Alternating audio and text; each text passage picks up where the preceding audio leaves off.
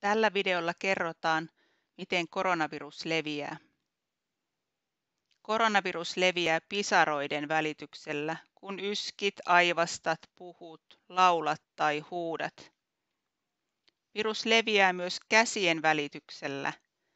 Älä siis kättele tai halaa. Pese kädet vedellä ja saippualla monta kertaa päivässä.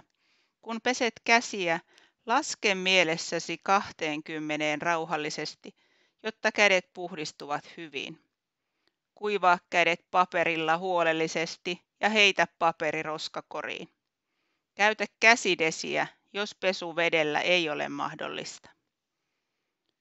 Kun yskit tai aivastat, suojaa nenä ja suu paperiliinalla. Tai yski tai aivasta hihaan. Laita käytetty nenäliina suoraan roskakoriin ja pese kädet. Käytä maskia paikoissa, joissa on paljon ihmisiä, kuten kaupoissa ja bussissa. Käytä maskia aina, jos olet sairas tai sinun täytyy mennä koronatestiin. Muista pitää vähintään yksi ja puoli metriä turvaväliä muihin ihmisiin.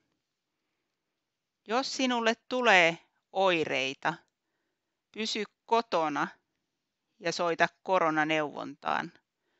Oulussa koronaneuvonnan numero on arkisin päivällä 08 558 41 414 ja arki-iltaisin ja viikonloppuisin 08 315 26 55. Jos tarvitset apua ajanvarauksessa – Soita Vuolle ystävyyskeskuksen omakieliseen hyvinvointineuvontaan maanantaista perjantaihin kello 10-15 numeroon 050 306 2201. Me autamme sinua. Jokaisen ihmisen velvollisuus on estää koronaviruksen leviämistä. Kaikille virus ei ole vaarallinen, mutta varsinkin vanhuksille ja perussairaille virus voi olla tappava.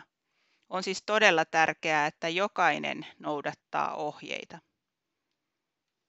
Tässä on vielä lähteet ja lisätietoa.